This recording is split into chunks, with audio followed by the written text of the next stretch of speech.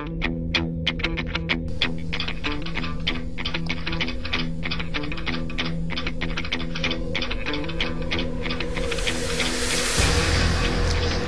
vás u projektu Architektura starověkého Řecka.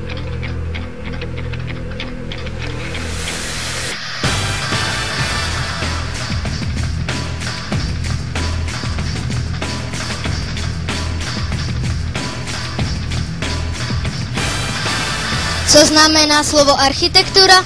Nejobecnější pojetí tohoto slova je stavba nebo stavitelství, ale spoustu lidí si pod tímto slovem představí uměleckou stavbu nebo dílo.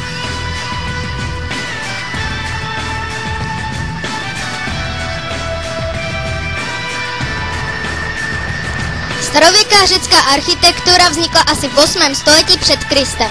Nejvíce žádanými architekty byl Itkynos, Kalikrates nebo Mnesikles.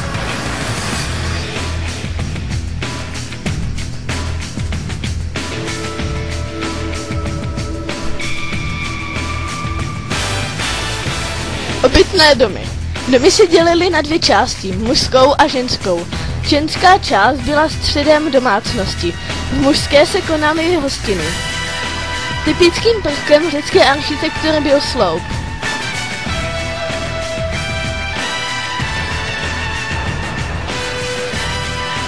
Skládal se z hlavice, dříku a patky.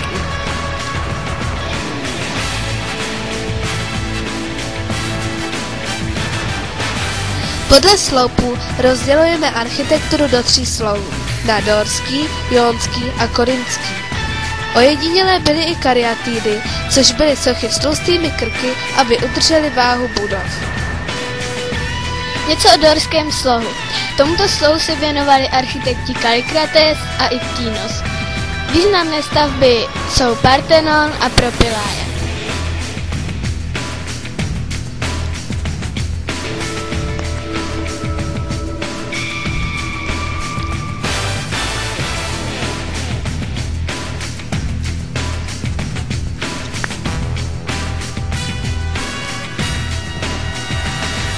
Jonský sloh.